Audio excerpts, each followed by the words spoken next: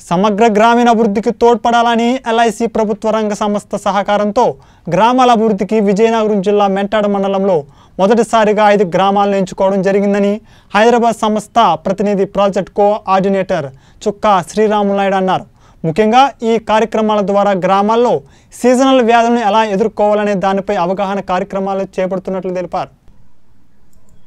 ఈ కార్యక్రమంలో మాస్కులు పంపిణీ చేశారు. ఐదు గ్రామాల్లో చింతల వలస రాబంద గుర్ల మీసాలపేట గురమ్మ వలస గత నెల ఇరవయో తారీఖు నుంచి ప్రారంభించామని ఆయన అన్నారు. మొట్టమొదట కార్యక్రమం చింతల వలస గ్రామంలో సీజనల్ వ్యాధుల గురించి చల్లపేట పీహెచ్పీ ఏఎన్ఎం ఆధ్వర్యంలో వ్యాధిని ఎలా సమర్థవంతంగా ఎదుర్కోవాలని వ్యాధులు వచ్చేటప్పుడు ఏ ఏ జాగ్రత్తలు పాటించాలని పరిసరాలను ఎలా పరిశుభ్రంగా ఉంచుకోవాలని తెలియజేశారు.